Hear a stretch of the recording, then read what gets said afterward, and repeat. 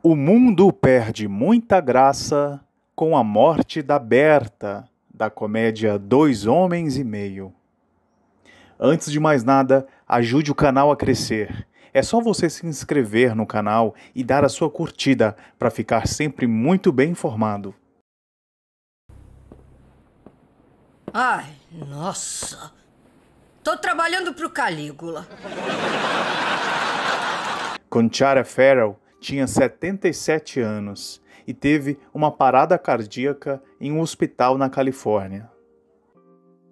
A atriz arrancou muitas gargalhadas ao dar vida à abusada diarista Berta na série Two and a Half Men.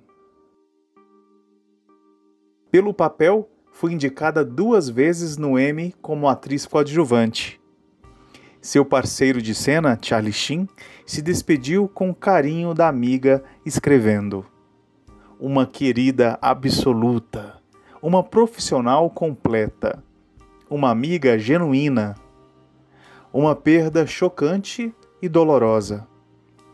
Berta, seu trabalho no lar era um pouco suspeito.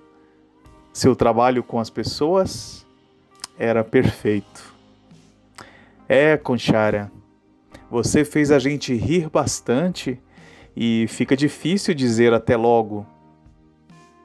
Obrigado por tanta risada. Bolão? Mas, mas pera, como assim? Que bolão? Eu, seu irmão, sua mãe e uns vizinhos fizemos um bolão de quanto tempo ela ia levar para chutar você. Eu cheguei perto. Estavam apostando que meu casamento ia acabar?